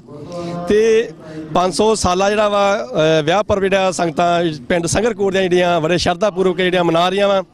ਤੇ ਕੱਲ ਤੋਂ ਹੀ ਜਿਹੜਾ ਵਾ ਜਿਹੜਾ ਇੱਥੇ ਦੀਵਾਨ ਸਜੇ ਹੋਏ ਆ, ਫਿਰ ਟੂਰਨਾਮੈਂਟ ਜਿਹੜੇ ਸ਼ਾਮਲ ਹੁੰਦੇ ਆ, ਅੱਜ ਵੀ ਜਿਹੜਾ ਵਾ ਦੀਵਾਨ ਜਿਹੜਾ ਵਾ, ਉਹ ਸ਼ੁਰੂ ਹੋਣ ਜਾ ਰਿਹਾ ਵਾ, ਤੇ ਉਸ ਤੋਂ ਬਾਅਦ ਜਿਹੜਾ ਵਾ ਟੂਰਨਾਮੈਂਟ ਜਿਹੜੇ ਆ, ਉਹ ਉਹ ਹੋਣ ਹੋਣੇ ਆ। ਤੇ ਇਸ ਵਕਤ ਅਸੀਂ ਪਿੰਡ ਸੰਗਰਕੋਟ ਦੇ ਜਿਹੜਾ ਵਾ ਧਰੂਤਾਰਾ ਬਾਬਾ ਸ਼ਿੰਗਾਰਾ ਸਿੰਘ ਜੀ, ਉਹਨਾਂ ਦੇ ਜੀਵਨ ਬਾਰੇ ਇੱਕ ਜਿਹੜੀ ਕਿਤਾਬ ਲਿਖੀ ਆ ਬੱਚੀ ਹਰਪਾਲ ਕੌਰ ਗਿੱਲ ਜੀ ਨੇ। ਤੇ ਇਸ ਵਕਤ ਬਾਬਾ ਸ਼ਿੰਗਾਰਾ ਸਿੰਘ ਜੀ ਦਾ ਜਿਹੜਾ ਪਰਿਵਾਰ ਆ, ਉਹ ਆਪਾਂ ਖੜੇ, ਆਪਾਂ ਦੇਖ ਰਹੇ ਆ। ਤੇ ਉਹਨਾਂ ਨਾਲ ਅਸੀਂ ਜਿਹੜੀ ਗੱਲਬਾਤ ਕਰਾਂਗੇ। ਤੇ ਗੱਲਬਾਤ ਕਰਾਂਗੇ ਬਾਬਾ ਸ਼ਿਕਾਰਾ ਸਿੰਘ ਜੀ ਜਿਹੜੇ ਸੀਗੇ, ਇਹ ਆਰਮੀ ਵਿੱਚ ਇਹਨਾਂ ਨੇ ਇੱਕ ਸਰਵਿਸ ਕੀਤੀ, ਬੜਾ ਚਿਰ। ਤੇ ਉਸ ਤੋਂ ਬਾਅਦ ਚ ਆਪਾਂ ਦੇਖਦੇ ਹਾਂ ਕਿ ਬਹੁਤ ਜਿਹੜੇ ਆਰਮੀ ਵਿੱਚ ਜਿਹੜਾ ਨੌਕਰੀ ਕੀਤੀ ਹੁੰਦੀ ਆ, ਉਹ ਜਿਹੜੇ ਆ, ਉਹ ਸੰਤ ਮਹਾਂਪੁਰਖ ਜਿਹੜੇ ਆ, ਉਹ ਬਣਦੇ ਆ। ਜਿਸ ਤਰ੍ਹਾਂ ਕਿ ਆਪਾਂ ਬਹੁਤ ਜ਼ਿਆਦਾ ਜਿੱਦਾਂ ਹਰਖਵਾਲ ਸੰਤ ਦੇਖਦੇ ਆ ਜਾਂ ਸੰਤ ਪ੍ਰਤਾਪ ਸਿੰਘ ਜੀ ਢਲਵਾਂ ਵਾਲੇ ਦੇਖਦੇ ਆ ਹੋਰ ਵੀ ਬਹੁਤ ਜ਼ਿਆਦਾ ਅਨੇਕਾਂ ਸੰਤ ਜਿਹੜੇ ਆ, ਜਿਨ੍ਹਾਂ ਨੇ ਆਰਮੀ ਵਿੱਚ ਨੌਕਰੀ ਕੀਤੀ ਸਰਵਿਸ ਕੀਤੀ ਆ, ਉਹ ਬਾਅਦ ਜਿਹੜੇ ਆ ਸੰਤ ਮਹਾਂਪੁਰਖ ਬਣਦੇ ਆ। ਉੱਥੇ ਜਿਹੜਾ ਵਾ ਉਹ ਜਦੋਂ ਸਰਵਿਸ ਕਰਦੇ ਆ, ਉਹ ਸਰਕਾਰ ਦੀ ਜਿਹੜੀ ਆ, ਉਹ ਵੀ ਨੌਕਰੀ ਕਰਦੇ ਆ ਤੇ ਆਪਣੇ ਜਿਹੜੇ ਭਗਤੀ ਉਹ ਵੀ ਕਰਦੇ ਆ। ਤੇ ਇਸ ਵਕਤ ਅਸੀਂ ਬਾਬਾ ਸ਼ਿਗਾਰਾ ਸਿੰਘ ਜੀ ਜਿਹੜੇ ਦਲ ਪੰਥ ਬਾਬਾ ਬਚਨ ਸਿੰਘ ਜੀ ਉਹਨਾਂ ਨੇ ਉੱਥੇ ਸੇਵਾ ਕੀਤੀ ਤਾਨਾ ਦਲ ਦੇ ਵਿੱਚ। ਤੇ ਇਸ ਵਕਤ ਉਹਨਾਂ ਦੇ ਜਿਹੜੇ ਆ ਪੋਤਰਾ ਜੀ ਆ ਜਿਨ੍ਹਾਂ ਨੇ ਸੁਖਵਿੰਦਰ ਸਿੰਘ ਸੁਖਵਿੰਦਰ ਸਿੰਘ ਜੀ ਜਿਹੜੇ ਇੱਕ ਆਰਮੀ ਵਿੱਚ ਰਸਾਲਦਾਰ ਸੀਗੇ। ਤੇ ਉਹਨਾਂ ਦੇ ਨਾਲ ਬਿਲਕੁਲ ਬੱਚੀ ਜਿਹੜੀ ਜਿਹਨੇ ਪੁਸਤਕ ਲਿਖੀ ਆ ਬਾਬਾ ਸ਼ਿੰਗਾਰ ਸਿੰਘ ਜੀ ਬਾਰੇ। ਉਹ ਵੀ ਆਪਾਂ ਉਹਨਾਂ ਦੇ ਨਾਲ ਵੀ ਗੱਲਬਾਤ ਕਰਦੇ ਆ ਕਿ ਤੁਸੀਂ ਕਿਸ ਤਰ੍ਹਾਂ ਇਹ ਪੁਸਤਕ ਲਿਖੀ ਆ, ਤੁਹਾਨੂੰ ਕਿਸ ਨੇ ਕਿਹਾ ਕਿ ਇਹ ਪੁਸਤਕ ਲਿਖੋ। ਇਸ ਬੱਚੀ ਨੇ ਆਪਣੇ ਪਿੰਡ ਬਾਰੇ, ਸੰਗਰਕੋਟ ਬਾਰੇ ਜਿਹੜਾ ਵਾ, ਪੂਰੀ ਲਿਖਿਆ ਹੋਇਆ ਵਾ। ਤੇ ਅਸੀਂ ਜਿਹੜਾ ਵਾ ਗੱਲਬਾਤ ਕਰਦੇ ਹਾਂ, ਹਾਂਜੀ। ਇਹ ਸਭ ਤੋਂ ਪਹਿਲਾਂ ਅਸੀਂ ਇਸ ਬੱਚੀ ਨਾਲ ਗੱਲਬਾਤ ਕਰਦੇ ਹਾਂ ਜਿਨੇ ਆਪਣੇ ਬਜ਼ੁਰਗਾਂ ਬਾਰੇ, ਬਾਬਾ ਸ਼ਿੰਗਾਰਾ ਸਿੰਘ ਜੀ ਬਾਰੇ ਜਿਹੜੀ ਪੁਸਤਕ ਲਿਖੀ ਆ। ਸਭ ਤੋਂ ਪਹਿਲਾਂ ਫਤਿਹ ਸਾਂਝ ਪਾਉਣੇ ਵਾਹਿਗੁਰੂ ਜੀ ਕਾ ਵਾਹਿਗੁਰੂ ਖਾਲਸਾ, ਵਾਹਿਗੁਰੂ ਜੀ ਕੀ ਫਤਿਹ। ਦੇਸ਼ ਵਿਦੇਸ਼ ਵਿੱਚ ਦੇਖ ਰਹੀਆਂ ਸਾਰੇ ਸੰਗਤਾਂ ਨੂੰ ਸ਼੍ਰੀ ਗੁਰੂ ਅੰਗਦ ਦੇਵ ਜੀ ਮਹਾਰਾਜ ਅਤੇ ਮਾਤਾ ਕੀਵੀ ਜੀ ਦੇ ਵਿਆਹ ਪੁਰਬ ਦੀ ਮੈਂ ਲੱਖ ਲੱਖ ਵਧਾਈ ਦਿੰਦੀ ਹਾਂ। ਮੈਨੂੰ ਬਹੁਤ ਮਾਣ ਹੈ ਕਿ ਮੈਂ ਇਸ ਪਿੰਡ ਦੀ ਇੱਕ ਬੇਟੀ ਹਾਂ, ਮੈਂ ਧੀ ਹਾਂ ਔਰ ਮੇਰੇ ਫਾਦਰ ਸਾਹਿਬ ਸਰਦਾਰ ਸੁਖਵਿੰਦਰ ਸਿੰਘ ਜੀ ਨੇ ਮੈਨੂੰ ਬਹੁਤ ਗਾਈਡ ਕੀਤਾ ਕਿ ਆਪਾਂ ਇੱਕ ਬੁੱਕ ਲਿਖਣੀ ਹੈ ਜੋ ਕਿ ਸਾਡੇ ਗ੍ਰੈਂਡਫਾਦਰ ਦੇ ਉੱਪਰ ਹੈ। ਸੋ ਮੈਨੂੰ ਬਹੁਤ ਖੁਸ਼ੀ ਹੋਈ ਕਿ ਮੈਂ ਇਸ ਬੁੱਕ ਲਿਖੀ ਹੈ ਕਿ ਸਾਡੇ ਗ੍ਰੈਂਡਫਾਦਰ ਨੇ ਜਿਹੜਾ ਗਰੀਬ ਲੋਕਾਂ ਦਾ ਬਹੁਤ ਜ਼ਿਆਦਾ ਵੈਲਫੇਅਰ ਕੀਤਾ ਸੀਗਾ। ਅੱਛਾ, ਤੁਹਾਡਾ ਜਿਹੜਾ ਪਿੰਡ ਆ, ਇਹ ਸੰਗਰਕੋਟ ਆ। ਇੱਥੇ ਦੀ ਮਾਤਾ ਖੀਵੀ ਜੀ ਹੋਇਆ ਜੋ ਤੁਸੀਂ ਕਿਤੇ ਦੂਰ ਦੂਰ ਜਾਂਦੇ ਆ ਜਾਂ ਪੜਨ ਵਾਸਤੇ ਕਿਤੇ ਵੀ ਜਾਂਦੇ ਆ ਤੁਸੀਂ ਆਪਣੇ ਤੁਹਾਨੂੰ ਕਿੰਨਾ ਕੁ ਮਾਣ ਮਹਿਸੂਸ ਹੁੰਦਾ ਕਿ ਤੁਸੀਂ ਇੱਕ ਬਾਬਾ ਸ਼ਿੰਗਾਰਾ ਸਿੰਘ ਜੀ ਦੇ ਵੀ ਪਰਿਵਾਰ ਕੇ ਵਿੱਚੋਂ ਆ ਤੇ ਇੱਕ ਮਾਤਾ ਖੀਵੀ ਜੀ ਦੇ ਜਿਹੜੇ ਆ ਉਹ ਪਿੰਡ ਵਿੱਚੋਂ ਕੀ ਕਹਿਣਾ ਚਾਹੁੰਦੇ? ਮਾਤਾ ਖੀਵੀ ਜੀ ਬਾਰੇ ਕੀ ਕਹਿਣਾ ਚਾਹੁੰਦੇ? ਅ, ਮਾਤਾ ਖੀਵੀ ਜੀ ਦਾ ਇਹ ਪੇਕਿਆਂ ਦਾ ਘਰ ਹੈ ਸਾਨੂੰ ਬਹੁਤ ਮਾਣ ਹੈ ਕਿ ਅਸੀਂ ਇਸ ਪਿੰਡ ਵਿੱਚ ਜਨਮ ਲਿਆ ਹੈ। ਸਾਡਾ ਜਿਹੜਾ ਪਿੰਡ ਹੈ ਬਹੁਤ ਇਤਿਹਾਸਿਕ ਪਿੰਡ ਹੈ ਔਰ ਸਾਨੂੰ ਬਹੁਤ ਜ਼ਿਆਦਾ ਮਾਣ ਮਹਿਸੂਸ ਹੁੰਦਾ ਹੈ ਇਸ ਪਿੰਡ ਦੇ ਉੱਪਰ। ਅੱਛਾ ਜਦੋਂ ਤੁਸੀਂ ਕਿਤੇ ਜਾਂਦੇ ਆ ਵਿਚਰਦੇ ਆ ਪੜ੍ਹਦੇ ਆ ਤੇ ਉੱਥੇ ਲੋਕੀ ਤਾਂ ਤੁਸੀਂ ਦੱਸਿਆ ਕਦੇ ਵੀ ਅਸੀਂ ਮਾਤਾ ਖੀਵੀ ਦਾ ਜਿਹੜਾ ਪਿੰਡ ਹੈ ਉਹ ਸਾਡਾ ਪਿੰਡ ਹੈ? ਹਾਂਜੀ ਲੋਕ ਸਾਨੂੰ ਮਾਤਾ ਖੀਵੀ ਜੀ ਦੇ ਪਿੰਡ ਦੇ ਨਾਲ ਜਾਣਦੇ ਨੇ। ਅੱਛਾ ਤੁਸੀਂ ਕਿੰਨੀ ਪੜ੍ਹਾਈ ਕੀਤੀ ਆ? ਮੈਂ ਐਮ ਐਮਫਿਲ ਕੀਤੀ ਹੋਈ ਹੈ। ਠੀਕ ਹੈ ਜਿਹੜਾ ਤੁਸੀਂ ਬਾਬਾ ਸ਼ਿੰਗਾਰਾ ਸਿੰਘ ਜੀ ਜਿਹੜਾ ਤੁਹਾਡੇ ਪੜਦਾਦਾ ਜੀ ਸੀਗੇ ਤੁਸੀਂ ਆਪਣੇ ਕੀ ਪਰਿਵਾਰ ਕੇ ਮੈਂਬਰਾਂ ਬਾਰੇ ਕੀ ਕਹਿਣਾ ਚਾਹੁੰਦੇ ਕਿ ਮੈਂ ਇਹ ਕਹਿਣਾ ਚਾਹੁੰਦੀ ਹਾਂ ਕਿ ਜਿਵੇਂ ਸਾਡੇ ਪਰਦਾਦਾ ਜੀ ਨੇ ਵੈਲਫੇਅਰ ਕੀਤਾ ਹੈ ਉਸੇ ਤਰ੍ਹਾਂ ਜਿਹੜਾ ਸਾਡਾ ਪਰਿਵਾਰ ਹੈ ਉਹਨਾਂ ਦੇ ਪਾਏ ਪੂਰਨੇ ਉੱਪਰ ਚੱਲੇ ਔਰ ਉਹਨਾਂ ਦੇ ਵਾਂਗੂ ਜਿਹੜਾ ਸਮਾਜ ਭਲਾਈ ਦੇ ਕੰਮ ਕਰੇ। ਅੱਛਾ ਇਹਦੇ 'ਚ ਕੀ ਕੀ ਤੁਸੀਂ ਲਿਖਿਆ ਹੋਇਆ ਜਿੱਦਾਂ ਜਨਮ ਤੋਂ ਲੈ ਕੇ ਕਦੋਂ ਜਨਮ ਹੋਇਆ ਬਾਬਾ ਜੀ ਦਾ? ਉਹਨਾਂ ਦਾ ਜਨਮ ਅੱਛਾ ਚਲੋ ਕੋਈ ਗੱਲ ਨਹੀਂ। ਜਿੱਦਾਂ ਤੁਸੀਂ ਉਹਨਾਂ ਸਰਵਿਸ ਕੀਤੀ ਆ ਨੌਕਰੀ 'ਚ ਉੱਥੇ ਆਰਮੀ ਵਿੱਚ ਕੀਤੀ ਆ ਹੈਨਾ? ਆਰਮੀ ਦੇ ਜਿਹੜੇ ਆ ਬੜੇ ਮਹਾਂਪੁਰਖ ਹੋਏ ਆ ਕੀ ਕਹਿਣਾ ਚਾਹੁੰਦੇ ਤੁਸੀਂ ਇਹ ਹਾਂਜੀ। ਜਿਹੜੇ ਇਸ ਲੜਕੀ ਦੇ ਪਿਤਾ ਜੀ, ਉਹਨਾਂ ਨਾਲ ਅਸੀਂ ਗੱਲਬਾਤ ਕਰਦੇ ਹਾਂ ਕਿ ਮੈਂ ਇਹ ਵੀ ਗੱਲ ਦੱਸਣਾ ਚਾਹੁੰਦਾ ਕਿ ਦੇਖੋ, ਆਪਾਂ ਜੋ ਭਾਵੇਂ ਕਿਤਾਬਾਂ ਲਿਖਦੇ ਆ ਆਪਾਂ ਜਿੰਨਾ ਮਰਜ਼ੀ ਆਪਾਂ ਬੋਲੇ ਨੇ, ਪਰ ਜਦੋਂ ਆਪਾਂ ਮੈਕ ਗਾੜੀ ਕਰਦੇ ਆ ਕਈ ਵਾਰ ਜਿਹੜੇ ਚੰਗੇ ਚੰਗੇ ਬੰਦੇ ਆ, ਉਹ ਥੜਕ ਜਾਂਦੇ ਅਸੀਂ ਦੁਬਾਰਾ ਫਿਰ ਇਸ ਬੱਚੀ ਦੇ ਕੋਲ ਆਉਂਦੇ ਆ ਤੇ ਉਹਨਾਂ ਨਾਲ ਅਸੀਂ ਗੱਲਬਾਤ ਕਰਾਂਗੇ। ਤੇ ਹੁਣ ਅਸੀਂ ਜਿਹੜੇ ਰਸਾਲਦਾਰ ਜੀ ਆ, ਜਿਹੜੇ ਆਰਮੀ ਚ ਜਿਹੜਾ, ਜਿਹੜੇ ਸਰਵਿਸ ਕਰ ਰਹੇ ਆ, ਉਹਨਾਂ ਨਾਲ ਅਸੀਂ ਗੱਲਬਾਤ ਕਰਦੇ ਆ ਕਿ ਇੱਕ ਦੇਖੋ ਮਾਤਾ ਖੀਵੀ ਜੀ ਦੇ ਨਗਰ ਦੇ ਆ ਉਹਨਾਂ ਦੇ ਸੰਗਰਕੋਟ ਪਿੰਡ ਦੇ। ਹਾਂਜੀ ਫਤਿਹ ਸਾਂਝ ਪਾਉਣੇ ਵਾਹਿਗੁਰੂ ਜੀ ਕਾ ਖਾਲਸਾ। ਵਾਹਿਗੁਰੂ ਜੀ ਕਾ ਖਾਲਸਾ ਵਾਹਿਗੁਰੂ ਜੀ ਕੀ ਫਤਿਹ। ਮੈਂ ਇਹ ਜੋ ਬੁੱਕ ਤਿਆਰ ਕਰਵਾਉਣ ਦਾ ਸੋਚਿਆ ਸੀ ਅੱਜ ਤੋਂ ਕੁਝ ਦਿਨ ਪਹਿਲਾਂ ਮੈਂ ਮੈਡੀਕਲ ਲੀਵ ਤੇ ਸੀਗਾ ਤੇ ਮੈਨੂੰ ਡਾਕਟਰ ਸਾਹਿਬ ਨੇ ਤਕਰੀਬਨ 6 ਮੰਥ ਬੈੱਡ ਰੈਸਟ ਦਿੱਤਾ ਸੀਗਾ। ਤੇ ਮੈਂ ਆਪਣੀ ਬੇਟੀ ਨੂੰ ਕਿਹਾ ਮੈਂ ਕਿਹਾ ਬੇਟਾ ਜੀ ਸਾਰਾ ਦਿਨ ਤੇ ਮੈਂ ਹਰ ਰੋਜ਼ ਨਿਤਨੇਮ ਕਰਦਾ ਲੇਕਿਨ ਮੇਰੇ ਬੇਟੇ ਨਿਤਨੇਮ ਯਾਦ ਨਹੀਂ ਹੈਗੇ। ਤੇ ਉਹਨਾਂ ਨੇ ਕਿਹਾ ਕਿ ਹੁਣ ਤੇ ਪਿਤਾ ਜੀ ਤੁਸੀਂ ਵਿਹਲੇ ਹੋ, ਤੁਸੀਂ ਬੈੱਡ ਰੈਸਟ ਹੋ ਕੋਈ ਕੰਮ ਨਹੀਂ ਹੈ। ਤੇ ਇਸ ਤਰ੍ਹਾਂ ਕਰਦੇ ਆ ਤੁਹਾਨੂੰ ਨਿਤਨੇਮ ਯਾਦ ਕਰਵਾਉਂਦੇ ਆ ਮੈਂ ਕਿਹਾ, ਬੇਟੇ, ਮੈਨੂੰ ਥੋੜਾ ਥੋੜਾ ਰੋਜ਼ ਇੱਕ ਦੋ ਪੇਜ ਜਿਹੜੇ ਆ, ਉਹ ਹੱਥ ਨਾਲ ਲਿਖ ਕੇ ਦੇ ਦਿਆ ਕਰੋ ਗੁਟਕਾ ਸਾਹਿਬ ਤੋਂ, ਜਿਹਦੇ ਨਾਲ ਮੈਂ ਆਪਣਾ ਜੋ ਨਿਤਨੇਮ ਯਾਦ ਕਰ ਸਕਦਾ। ਇਸ ਤਰ੍ਹਾਂ ਬੇਟੀ ਨੇ ਮੇਰੀ ਮਦਦ ਕੀਤੀ ਤੇ ਮੈਂ ਉਸ ਮੈਡੀਕਲ ਲੀਵ ਚ ਕੁਝ ਨਿਤਨੇਮ ਦੀਆਂ ਬਾਣੀਆਂ ਯਾਦ ਕੀਤੀਆਂ ਔਰ ਉਦੋਂ ਬਾਅਦ ਚ ਜਿਹੜਾ ਵਿਹਲਾ ਟਾਈਮ ਬਚ ਜਾਂਦਾ ਸੀਗਾ, ਮੈਂ ਸੋਚਿਆ ਕਿ ਕੋਈ ਇੱਕ ਇਹੋ ਜਿਹਾ ਆਰਟੀਕਲ ਲਿਖਾਂ ਮੈਂ ਆਪਣੇ ਗ੍ਰੈਂਡਫਾਦਰ ਸਾਹਿਬ ਦੇ ਉੱਤੇ, ਕਿ ਜਿਹੜੇ ਮੇਰੇ ਗ੍ਰੈਂਡਫਾਦਰ ਸਾਹਿਬ ਸੀਗੇ, ਉਹ ਬੜੇ ਮਹਾਨ ਪਰਉਪਕਾਰੀ ਸੀ। ਉਹਨਾਂ ਨੇ ਇਲਾਕੇ ਦੇ ਬਹੁਤ ਸਾਰੇ ਪਰਉਪਕਾਰ ਦੇ ਕੰਮ ਕੀਤੇ ਸੀ। ਲੋਕ ਉਹਨਾਂ ਨੂੰ ਬਹੁਤ ਮਾਣ ਦਿੰਦੇ ਸੀ। ਔਰ ਉਹ ਪਿੰਡ ਦੇ ਇੱਕ ਆਰਮੀ ਚ ਪਹਿਲੇ ਫੌਜੀ ਹੋਏ ਨੇ, ਉਦੋਂ ਪਹਿਲਾਂ ਕੋਈ ਫੌਜੀ ਪਿੰਡ ਚ ਨਹੀਂ ਸੀ। ਔਰ ਉਹ ਅੰਮ੍ਰਿਤਧਾਰੀ ਵੀ ਪਹਿਲੇ ਸੀ। ਉਹਨਾਂ ਤੋਂ ਪਹਿਲਾਂ ਕੋਈ ਅੰਮ੍ਰਿਤਧਾਰੀ ਨਹੀਂ ਸੀ। ਮੇਰੇ ਗ੍ਰੈਂਡਫਾਦਰ ਸਾਹਿਬ ਦੀ ਮੈਂ ਕਾਫੀ ਹੱਦ ਤੱਕ, ਮੈਂ ਉਹਨਾਂ ਦੇ ਬਾਰੇ ਜਾਣਦਾ ਸੀ। ਜਦੋਂ ਮੈਂ ਛੋਟਾ ਸੀ, ਮੈਂ ਉਹਨਾਂ ਦੇ ਕੰਮਾਂ ਨੂੰ ਦੇਖਦਾ ਸੀ ਕਿ ਸਾਰਾ ਦਿਨ ਘਰ ਦਾ ਕੰਮਕਾਜ ਕੋਈ ਨਹੀਂ ਕਰਦੇ, ਲੇਕਿਨ ਸਾਰੇ ਦੁਨਿਆਵੀ ਕੰਮ ਕਰਦੇ ਨੇ। ਉਹਨਾਂ ਨੇ ਜਦੋਂ ਆਰਮੀ ਦੇ ਟਾਈਮ ਤੇ ਪਾਕਿਸਤਾਨ ਨਾਲ ਜੰਗ ਹੋਈ ਸੀ, ਉਹ 5 ਸਾਲ ਉਹਨਾਂ ਦੀ ਪਾਕਿਸਤਾਨ ਦੀ ਜੰਗ ਦੇ ਅੰਦਰ ਕੈਦ ਵੀ ਰਹੇ। ਜਦੋਂ ਉਹ ਕੈਦ ਰਹੇ, ਤੇ ਉਹਨਾਂ ਦਾ ਕੋਈ ਅਤਾ ਪਤਾ ਨਹੀਂ ਸੀ ਕਿ ਹੁਣ ਉਹ ਬਾਬਾ ਸ਼ੰਗਰਾ ਸਿੰਘ ਜੀ ਕਿੱਥੇ ਨੇ। ਜਦੋਂ ਬਾਬਾ ਸ਼ੰਗਰਾ ਸਿੰਘ ਦਾ ਕੋਈ ਪਤਾ ਨਹੀਂ ਚੱਲ ਰਿਹਾ ਸੀ ਤੇ ਉਹ ਕਿੱਥੇ ਨੇ ਜਾਂ ਕਈ ਆ, ਤਾਂ ਸਾਡੇ ਜਿਹੜੇ ਨਗਰ ਦੇ ਲੋਕ ਨੇ, ਸਾਡੀ ਜਿਹੜੀ ਦਾਦੀ ਮਾਂ ਸੀ, ਦਾਦੀ ਮਾਂ ਨੂੰ ਆ ਕੇ ਪੁੱਛਦੇ ਸੀ ਵੀ ਹੁਣ ਕੀ ਖਬਰ ਹੈ ਤੇ ਸਾਨੂੰ ਕੁਝ ਅਤਾ ਪਤਾ ਨਹੀਂ ਸੀ ਵੀ ਉਹ ਕਿੱਥੇ ਨੇ। ਸਾਡੇ ਦਾਦੀ ਜੀ ਨੇ ਤਰਨਾ ਦਲ ਬਾਬਾ ਬਿਸ਼ਨ ਸੌਂਗ ਦੇ ਕੋਲ ਜਾ ਕੇ ਉਹਨਾਂ ਨੇ ਦੱਸਿਆ ਕਿ ਬਾਬਾ ਜੀ, ਇਸ ਤਰ੍ਹਾਂ ਸਾਡੇ ਹਸਬੰਡ ਸਾਹਿਬ ਜੀ ਆਪਣੇ ਆਰਮੀ ਦੇ ਨਾਲ ਲੜਦੇ ਲੜਦੇ ਉਹਨਾਂ ਦਾ ਕੋਈ ਪਤਾ ਨਹੀਂ ਹੈ ਕਿ ਦੁਨੀਆ ਤਾਂ ਹੈ ਜਾਂ ਨਹੀਂ ਹੈ। ਤੇ ਬਾਬਾ ਜੀ ਨੇ ਕਿਹਾ ਕਿ ਅਸੀਂ ਅਰਦਾਸ ਕਰਾਂਗੇ, ਉਹ ਜਿੱਥੇ ਵੀ ਹੋਣਗੇ ਤੁਹਾਡੇ ਕੋਲ ਪਹੁੰਚਣਗੇ। 5 ਸਾਲ ਦੀ ਕੈਦ ਕਰਨ ਤੋਂ ਬਾਅਦ ਚ 5 ਸਾਲ ਪਾਕਿਸਤਾਨ ਦੀ ਜੰਗ ਤੋਂ ਅੰਦਰ ਕੱਟਣ ਤੋਂ ਬਾਅਦ ਚ ਉਹ ਵਾਪਸ ਪਿੰਡ ਆਏ। ਪਿੰਡ ਆਏ ਤੇ ਪਿੰਡ ਦੇ ਲੋਕਾਂ ਨੇ ਬਹੁਤ ਖੁਸ਼ੀ ਮਨਾਈ। ਜਦੋਂ ਉਹਨਾਂ ਨੂੰ ਵਰਦੀ 'ਚ ਦੇਖਿਆ, ਕਿਉਂਕਿ ਉਦੋਂ ਪਹਿਲਾਂ ਇਹ ਸੀ ਕਿ ਬਾਬਾ ਸ਼ੰਕਰ ਸਿੰਘ ਹੈ ਹੀ ਨਹੀਂ ਦੁਨੀਆ ਤੇ। ਜਦੋਂ ਵਾਪਸ ਆ ਗਏ, ਵਾਪਸ ਆ ਕੇ ਤੇ ਪਿੰਡ ਦੇ ਲੋਕ ਬਹੁਤ ਖੁਸ਼ ਹੋਏ। ਪਿੰਡ ਦੇ ਸਾਰੇ ਲੋਕ ਮਿਲਣ ਆਏ। ਉਦੋਂ ਬਾਅਦ 'ਚ ਰਿਸ਼ਤੇਦਾਰ ਵਗੈਰਾ ਸਾਰੇ ਮਿਲਣ ਆਏ ਉਹਨਾਂ ਨੂੰ। ਜਦੋਂ ਵੇਖਿਆ ਤੇ ਬਾਬੇ ਹੁਸ਼ਪੁਰ ਸੀ। ਉਦੋਂ ਬਾਅਦ 'ਚ ਕੁਝ ਦੇਰ ਬਾਅਦ 'ਚ ਉਹਨਾਂ ਨੇ ਪੈਨਸ਼ਨ ਲੈ ਲਈ। ਉਹਨਾਂ ਨੇ ਕੁਝ ਤੋਂ ਬਾਅਦ ਚ ਰਿਟਾਇਰਮੈਂਟ ਜਦੋਂ ਹੋਏ ਰਿਟਾਇਰਮੈਂਟ ਹੋਣ ਤੋਂ ਬਾਅਦ ਚ ਉਹ ਤਰਨਾ ਦਲ ਚ ਚਲੇ ਗਏ। ਤਰਨਾ ਦਲ ਦੇ ਨਾਲ ਉਹਨਾਂ ਨੇ ਕੰਮ ਕੀਤਾ, ਕਿਉਂਕਿ ਸਾਡੀ ਦਾਦੀ ਮਾਂ ਨੇ ਕਿਹਾ ਸੀ ਤਰਨਾ ਦਲ ਸਾ- ਬਾਬਾ ਬਾਬਾ ਬਿਸ਼ਨ ਸਿੰਘ ਨੂੰ ਕਿ ਅਸੀਂ ਉਹਨਾਂ ਨੂੰ ਤੁਹਾਡੀ ਸੇਵਾਵਾਂ ਵਾਸਤੇ ਛੱਡ ਦਿਆਂਗੇ। ਉਹਨਾਂ ਨੇ ਤਰਨਾ ਦਲ ਸਾਹਿਬ ਦੇ ਨਾਲ ਕਾਫੀ ਉਹਨਾਂ ਨੇ ਕੰਮਕਾਜ ਕੀਤੇ। ਤਰਨਾ ਦਲ ਵਾਲਿਆਂ ਨੇ ਬਾਬਾ ਬਿਸ਼ਨ ਉਹਨਾਂ ਨੂੰ ਜਥੇਦਾਰ ਬਣਾਤਾ। ਇੱਕ ਘੋੜਾ ਦੇਤਾ। ਇੱਕ ਘੋੜਾ ਉਹਨਾਂ ਨੂੰ ਪੱਕਾ ਉਹਨਾਂ ਦੇ ਨਾਂ ਤੇ ਸੀ। ਤੇ ਬਾਬਾ ਸ਼ੰਗਰਾ ਸਿੰਘ ਨੂੰ ਉਹਨਾਂ ਨੇ ਉਹਨਾਂ ਦੀਆਂ ਸੇਵਾਵਾਂ ਵੇਖ ਕੇ ਫਰਲੇ ਦੀ ਦਾਤ ਬਖਸ਼ੀ ਸੀ। ਜੋ ਕਿ ਫਰਲੇ ਦੀ ਦਾਤ ਜਿਹੜੀ ਹੈ ਉਹ ਕਿਸੇ ਮਹਾਨ ਆਦਮੀ ਨੂੰ ਮਿਲਦੀ ਹੈ। ਹਾਰੀ ਸਾਰੀ ਫਰਲੇ ਦੀ ਦਾਤ ਨਹੀਂ ਮਿਲਦੀ। ਉਦੋਂ ਬਾਅਦ ਚ ਕੁਝ ਦਿਨ ਤੋਂ ਬਾਅਦ ਚ ਬਾਬਾ ਸ਼ੰਗਾਰਾ ਸਿੰਘ ਨੂੰ ਇੱਕ ਅ, ਉੱਪਰੋਂ ਗੁਰੂ ਮਹਾਰਾਜ ਵੱਲੋਂ ਸੁਨੇਹਾ ਆਇਆ। ਕਿ ਤੁਸੀਂ ਹੁਣ ਆਪਣੇ ਪਿੰਡ ਵਾਪਸ ਜਾਓ ਔਰ ਮਾਤਾ ਖੀਵੀ ਦੇ ਗੁਰਧਾਮਾਂ ਦੀ ਸੇਵਾ ਸ਼ੁਰੂ ਕਰੋ। ਜਦੋਂ ਇਹਨਾਂ ਨੇ ਆਪਣੇ ਜਥੇਦਾਰ ਬਾਬਾ ਬਿਸ਼ਨ ਸਿੰਘ ਜੀ ਦੇ ਨਾਲ ਇਹ ਗੱਲ ਸ਼ੇਅਰ ਕੀਤੀ ਕਿ ਬਾਬਾ ਜੀ ਮੈਨੂੰ ਇੱਕ ਫੁਰਨਾ ਆਇਆ ਹੈ ਕਿ ਮੇਰੀ ਡਿਊਟੀ ਅਕਾਲ ਪੁਰਖ ਨੇ ਮਾਤਾ ਖੀਵੀ ਜੀ ਦੇ ਨਗਰਾਂ ਦੇ ਵਿੱਚ ਗੁਰਦੁਆਰਾ ਸਾਹਿਬ ਦੀ ਇਮਾਰਤ ਨੂੰ ਬਣਾਉਣ ਵਾਸਤੇ ਲਾਤੀ ਆ। ਉਹਨਾਂ ਨੇ ਪੰਜ ਸਿੰਘ ਬੁਲਾਏ। ਪੰਜ ਸਿੰਘ ਬੁਲਾ ਕੇ ਉਹਨਾਂ ਨੇ ਉਹਨਾਂ ਨੂੰ ਸਿਰਪਾਓ ਬਖਸ਼ਿਸ਼ ਕੀਤੀ। ਉਹਨਾਂ ਨੇ ਉਹਨਾਂ ਨੇ ਕਿਹਾ ਕਿ ਬਾਬਾ ਸ਼ੰਗਰਾ ਸਿੰਘ ਨੂੰ ਹੁਣ ਵਾਪਸ ਨਗਰ ਜਾਣ ਦਿਓ। ਇਹਨਾਂ ਨੇ ਗੁਰਧਾਮਾਂ ਦੀ ਸੇਵਾ ਸ਼ੁਰੂ ਕਰਨੀ ਆ। ਬਾਬਾ ਸ਼ੰਗਾਰਾ ਸਿੰਘ ਵਾਪਸ ਆਏ। ਗੁਰਦੁਆਰਾ ਪਿੰਡ ਦਾ ਕੱਚਾ ਸੀ ਔਰ ਬਹੁਤ ਛੋਟਾ ਸੀ। ਇੱਕ ਹੀ ਰੂਮ ਸੀ। ਛੋਟਾ ਜਿਹਾ ਕੱਚੀ ਕੋਠੜੀ। ਉਹਦੇ ਵਿੱਚ ਮਹਾਰਾਜ ਦਾ ਪ੍ਰਕਾਸ਼ ਸੀ। ਬਾਬਾ ਜੀ ਨੇ ਪਿੰਡ ਵਾਲਿਆਂ ਨੂੰ ਸੰਗਰਾਂਦ ਵਾਲੇ ਦਿਨ ਸੰਬੋਧਨ ਕੀਤਾ ਕਿ ਆਪਾਂ ਮਾਤਾ ਖੀਵੀ ਦੇ ਇਤਿਹਾਸਿਕ ਪਿੰਡ ਦੇ ਰਹਿਣ ਵਾਲੇ ਆ। ਆਪਾਂ ਇਦਾਂ ਕਰੀਏ ਕਿ ਆਪਾਂ ਗੁਰਦੁਆਰੇ ਬਿਲਡਿੰਗ ਨੂੰ ਪੱਕਾ ਕਰੀਏ। ਸਾਰੇ ਪਿੰਡ ਦੇ ਲੋਕਾਂ ਨੇ ਜੰਗਾਰਿਆਂ ਦੀ ਗੂੰਜ ਦੇ ਨਾਲ ਬਾਬਾ ਜੀ ਨੂੰ ਮਾਣ ਬਖਸ਼ਿਆ। ਕਹਿੰਦੇ, ਬਾਬਾ ਜੀ, ਤੁਸੀਂ ਅੱਗੇ ਹੋ ਔਰ ਅਸੀਂ ਤੁਹਾਡੇ ਨਾਲ ਹੈ। ਤੁਸੀਂ ਗੁਰਦੁਆਰੇ ਦੀ ਬਿਲਡਿੰਗ ਦੇ ਕੰਮ ਸ਼ੁਰੂ ਕਰਵਾਓ। ਸੌਰੀ ਬਾਅਦ ਚ ਬਾਬਾ ਜੀ ਨੇ ਗੁਰਦੁਆਰਾ ਸਾਹਿਬ ਦੀ ਪੱਕੀ ਬਿਲਡਿੰਗ ਦਾ ਨਿਰਮਾਣ ਪਿੰਡ ਦੇ ਦੂਜੇ ਪਾਸੇ ਸੀ ਪਹਿਲਾਂ ਉਧਰ ਕਰਵਾ ਦਿੱਤਾ। ਉਧਰ ਦੋ ਕਮਰੇ ਬਣਵਾਏ, ਉਹਦੇ ਸੇਵਾਵਾਂ ਚੱਲਦੀਆਂ ਰਹੀਆਂ। ਬਾਬਾ ਜੀ, ਬਾਬਾ ਸ਼ੰਗਾਰਾ ਸਿੰਘ ਜੀ ਪਿੰਡ ਦੇ ਦੂਸਰੇ ਹੈੱਡ ਗ੍ਰੰਥੀ ਹੋਏ ਨੇ। ਬਾਬਾ ਸ਼ੰਗਾਰਾ ਸਿੰਘ ਨੇ 20 ਸਾਲ ਨਿਸ਼ਕਾਮ ਸੇਵਾ ਕੀਤੀ ਹੈ।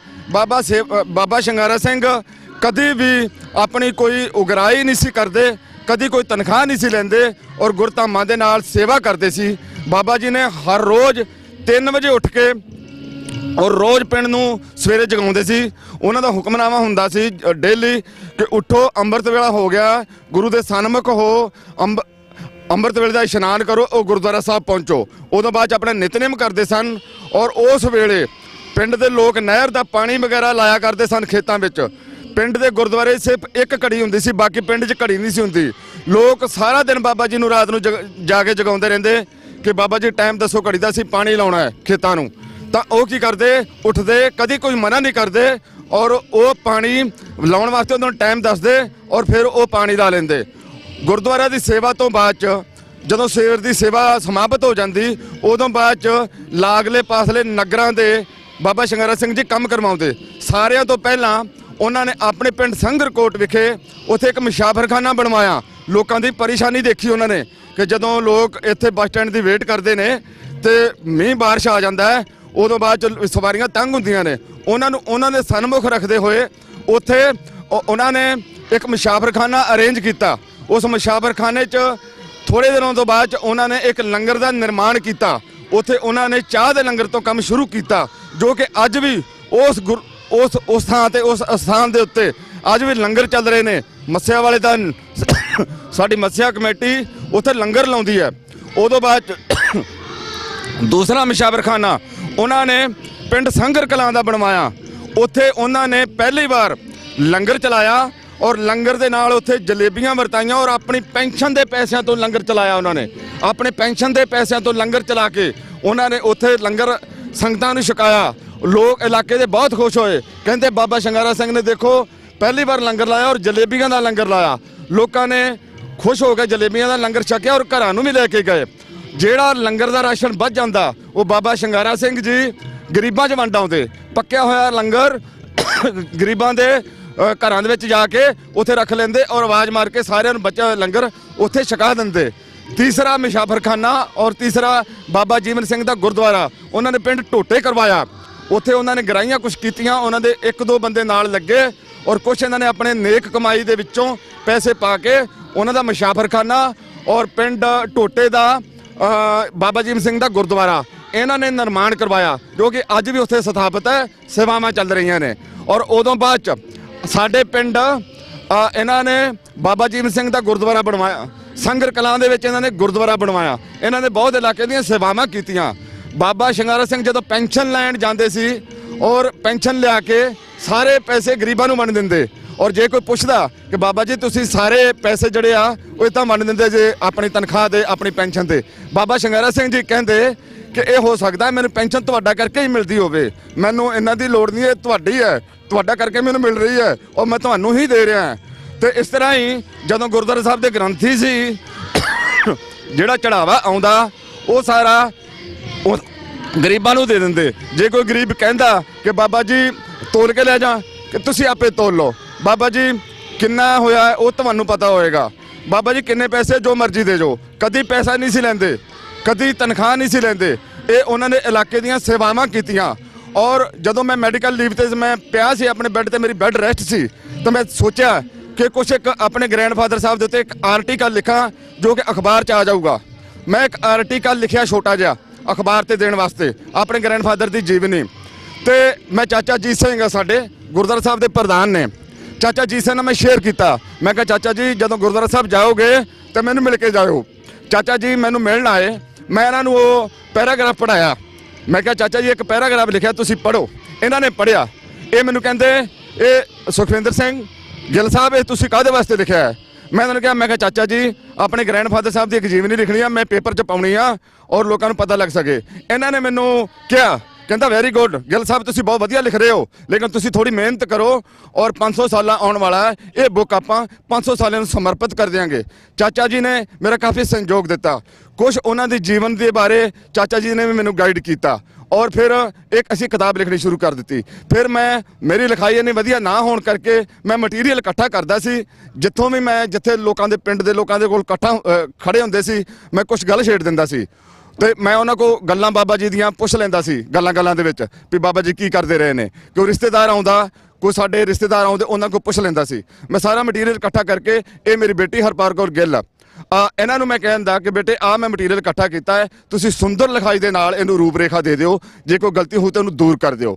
ਇਹ ਬੇਟੀ ਮੇਰੀ, ਮੇਰੇ ਕੋਲ ਮਟੀਰੀਅਲ ਲੈ ਲੈਂਦੀ ਔਰ ਹਰ ਰੋਜ਼ ਅਸੀਂ ਘੰਟਾ 2 ਘੰਟੇ ਲਾਉਂਦੇ ਔਰ ਤਕਰੀਬਨ ਮੈਨੂੰ ਇਹ ਬੁੱਕ ਲਿਖਣ ਦੇ ਵਿੱਚ ਤਕਰੀਬਨ 6 ਮਹੀਨੇ ਦਾ ਸਮਾਂ ਬੀਤ ਗਿਆ। ਜਿੱਥੋਂ ਕੁਝ ਸੁਧਾਰ ਕਰਨਾ ਹੁੰਦਾ ਸੀ ਜਾਂ ਕੋਈ ਨਵੀਂ ਚੀਜ਼ ਮੈਂਸ਼ਨ ਕਰਨੀ ਹੁੰਦੀ ਸੀ, ਅਸੀਂ ਫਿਰ ਦੁਬਾਰਾ ਤੋਂ ਆਪਣਾ ਉਸ ਦੇ ਕੋਲ ਲਿਖਦੇ। ਔਰ ਉਦੋਂ ਬਾਅਦ ਚ ਮੈਂ ਦਿਲ ਚ ਸੋਚਿਆ, ਸਿਰਫ 2 ਮਿੰਟ ਪਲੀਜ਼ ਲਵਾਂਗਾ ਉਦੋਂ ਬਾਅਦ ਚ ਮੈਂ ਦਿਲ ਚ ਸੋਚਿਆ ਕਿ ਮੇਰਾ ਪਿੰਡ ਹੈ, ਜਿਹੜਾ ਇਤਿਹਾਸਿਕ ਪਿੰਡ ਹੈ। ਮੇਰੇ ਪਿੰਡ ਦੇ ਵਿੱਚ ਤਿੰਨ ਕਮੇਟੀਆਂ ਕੰਮ ਕਰ ਰਹੀਆਂ ਨੇ ਔਰ ਸਾਰਾ ਪਿੰਡ ਸੇਵਾਵਾਂ ਨਾਲ ਜੁੜਿਆ ਹੋਇਆ ਹੈ।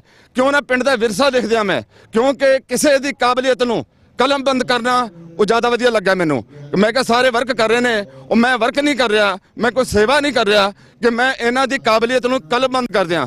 ਮੈਂ ਕੀ ਕੀਤਾ? ਮੈਂ ਪੁੰਨਿਆ ਕਮੇਟੀ, ਮੱਸਿਆ ਕਮੇਟੀ, ਗੁਰਦੁਆਰਾ ਮਾਤਾ ਖੀਵੀ ਪ੍ਰਬੰਧਕ ਕਮੇਟੀ ਦੀ ਸਾਰੇ ਮੈਂਬਰਾਂ ਦਾ ਜੋ ਜੋ ਕੰਮ ਜੋ ਜੋ ਡਿਊਟੀ ਕਰਦੇ ਸੀ, ਉਹ ਮੈਂ ਸਾਰੀ ਕਿਤਾਬ ਦੇ ਵਿੱਚ ਮੈਂਸ਼ਨ ਸ਼ੁਰੂ ਕਰ ਦਿੱਤੀ। ਮੈਂ ਕਿਹਾ ਕਮ ਸੇ ਕਮ ਇਹ ਸੇਵਾਵਾਂ ਕਰਦੇ ਨੇ ਮੈਂ ਵਿਹਲਾ ਬੈਠਦੇ ਆ ਮੈਂ ਇਹਨਾਂ ਦੇ ਬਾਰੇ ਇਹਨਾਂ ਦੀ ਕਾਬਲੀਅਤ ਨੂੰ ਆਪਣੇ ਕਲਮ ਬੰਦ ਕਰਦੇ ਆ ਇਸ ਤਰ੍ਹਾਂ ਕਰਕੇ ਮੈਂ ਇਸ ਕਾਰਜ ਨੂੰ ਨੇਪਰੇ ਚੜਾਇਆ। ਇਹ ਸਾਰਾ ਕਾਰਜ ਸਾਡੇ ਸਾਰੇ ਗਿੱਲ ਪਰਿਵਾਰ ਸਾਡੇ ਮਾਤਾ ਖੀਵੀ ਜੀ ਦਾ ਨਗਰ ਪਿੰਡ ਸੰਗਰਕੋਟ ਦੀ ਅ, ਹੇਠ ਮੈਂ ਪੂਰਾ ਕੀਤਾ। ਵਾਹਿਗੁਰੂ ਜੀ ਕਾ ਖਾਲਸਾ ਵਾਹਿਗੁਰੂ ਜੀ ਕੀ ਫਤਿਹ। ਬਹੁਤ ਧੰਨਵਾਦ ਜੀ। ਅਸੀਂ ਹੁਣ ਵੱਖਰੇ ਵੱਖਰੇ ਜਿਹੜੇ ਮੈਂਬਰ ਖੜੇ ਆ ਬਾਬਾ ਸ਼ਿਕਾਰਾ ਸਿੰਘ ਜੀ ਦੇ ਉਹਨਾਂ ਨਾਲ ਅਸੀਂ ਗੱਲਬਾਤ ਕਰਦੇ ਹਾਂ ਕਿ ਉਹ ਦੱਸਣਗੇ ਆਪਣਾ ਨਾਂ ਤੇ ਜਿਹੜੇ ਉਹਨਾਂ ਦੇ ਕੀ ਲੱਗਦੇ ਸੀਗੇ। ਹਾਂਜੀ ਵਾਹਿਗੁਰੂ ਜੀ ਕਾ ਖਾਲਸਾ। ਵਾਹਿਗੁਰੂ ਜੀ ਕੀ ਖਾਲਸਾ ਵਾਹਿਗੁਰੂ ਜੀ ਕੀ ਫਤਿਹ। ਬਾਬਾ ਸ਼ਿਕਾਰਾ ਸਿੰਘ ਜੀ ਤੁਹਾਡੇ ਕੀ ਲੱਗਦੇ ਸੀ ਜੀ? ਮੇਰੇ ਦਾਦਾ ਜੀ ਲੱਗਦੇ ਸੀ ਜੀ। ਅੱਛਾ ਜੀ। ਹਾਂਜੀ। ਇਹ ਤੁਸੀਂ ਵੀ ਆਰਮੀ ਵਿੱਚ ਸਰਵਿਸ ਕੀਤੀ ਜੀ ਹਾਂਜੀ ਮੈਂ ਵੀ ਆਰਮੀ ਵਿੱਚੋਂ ਆਇਆ ਜੀ। 17 ਸਾਲ ਨੌਕਰੀ ਕਰਕੇ ਆਇਆ 17 ਸਾਲ। ਹਾਂਜੀ ਯਾਰ ਆਰਮੀ ਵਿੱਚ। ਤੇ ਤੁਸੀਂ ਮਾਤਾ ਖੀਵੀ ਜੀ ਬਾਰੇ ਕੀ ਕਹਿਣਾ ਚਾਹੁੰਦੇ ਆ ਮਾਤਾ ਕੀਵੀ ਜੀ ਸਾਡੇ ਪਿੰਡ ਦੇ ਸੰਗਰਕੋਟ ਦੇ ਸੀ ਜੀ।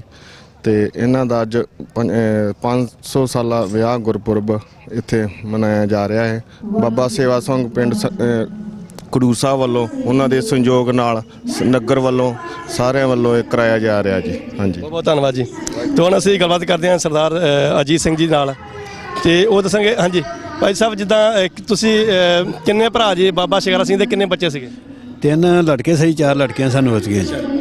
ਤੇ ਦੋ ਸਹੀ ਜਿਹੜੇ ਆਰਮੀ ਦੇ ਵਿੱਚੋਂ ਰਿਟਾਇਰ ਹੋ ਗਿਆ ਸਾਰੇ ਪਰਿਵਾਰ ਅਸੀਂ 8 ਮੈਂਬਰ ਜਿਹੜੇ ਆਰਮੀ ਦੇ ਵਿੱਚੋਂ ਰਿਟਾਇਰ ਹੋ ਚੁੱਕੇ ਹਾਂ ਜੀ।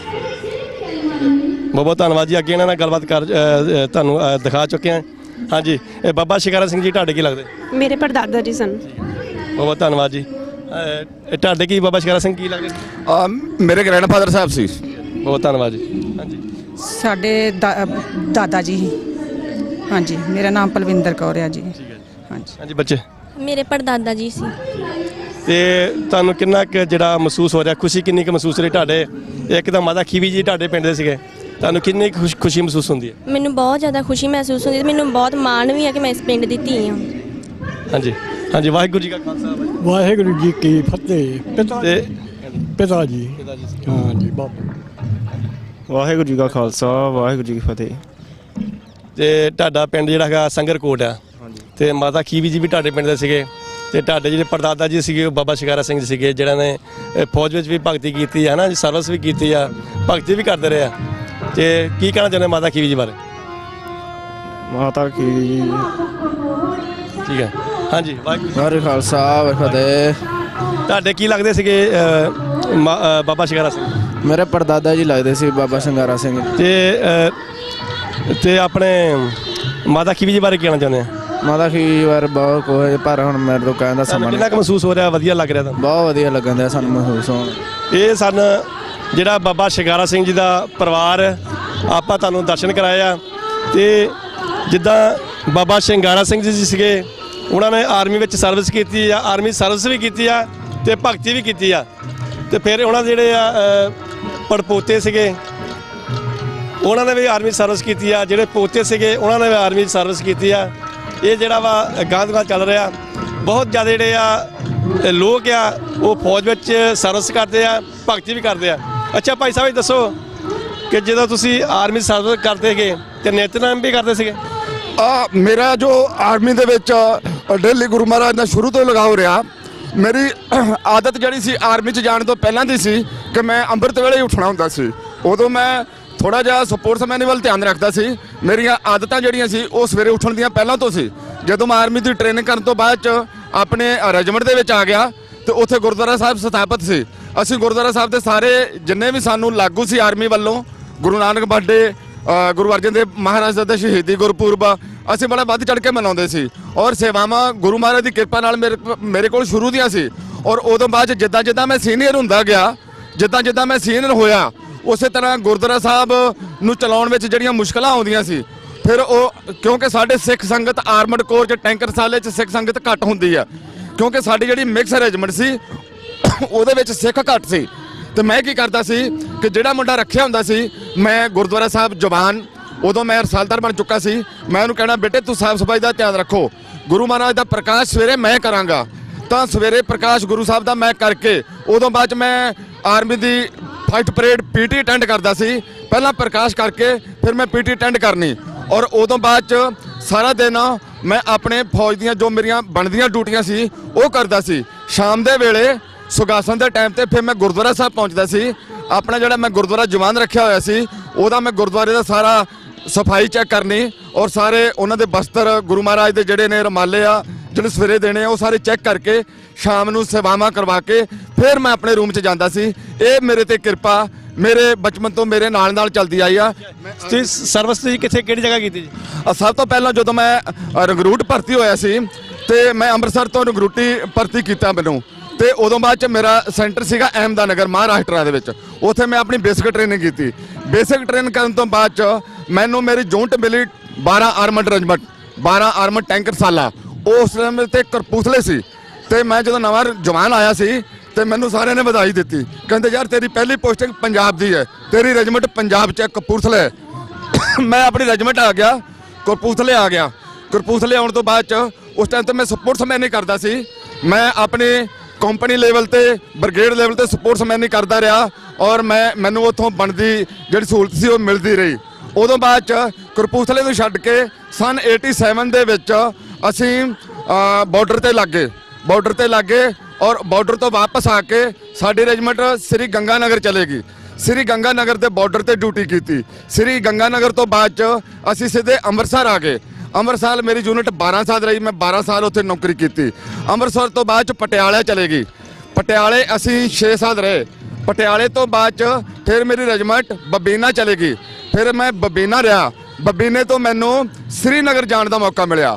ਮੈਂ ਸ੍ਰੀਨਗਰ 3 ਸਾਲ ਈਆਰਈ ਕੱਟੀ।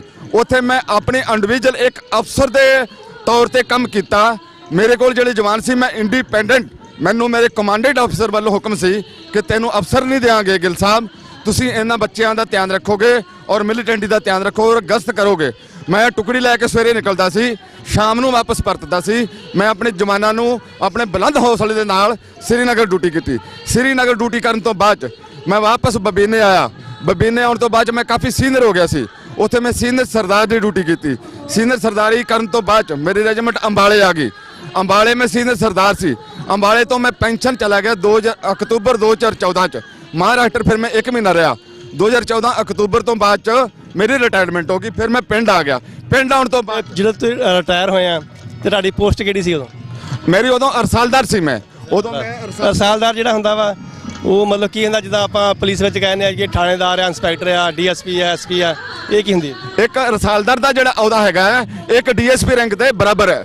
ਡੀਐਸਪੀ ਰੈਂਕ ਦੇ ਬਰਾਬਰ ਸਾਡਾ ਇੱਕ ਯੂਨੀਅਨ ਕਮਿਸ਼ਨ ਅਫਸਰ ਆਰਮੀ ਦਾ ਜਿਹੜਾ ਹੈ ਜੇਸੋ ਰਸਾਲਦਾਰ। ਇੱਕ ਡੀਐਸਪੀ ਰੈਂਕ ਦੇ ਬਰਾਬਰ ਰੈਂਕ ਹੁੰਦਾ ਸਾਡਾ। ਤੇ ਮੈਂ ਰਸਾਲਦਾਰ ਰਿਟਾਇਰਡ ਹੋਇਆ ਸੀਗਾ।